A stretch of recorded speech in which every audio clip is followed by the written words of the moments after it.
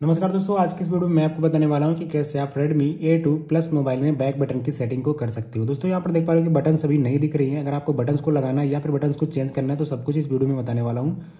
तो दोस्तों, आपको क्या करना है? बैक बटन की सेटिंग करने के लिए सबसे पहले सेटिंग में जाना होगा।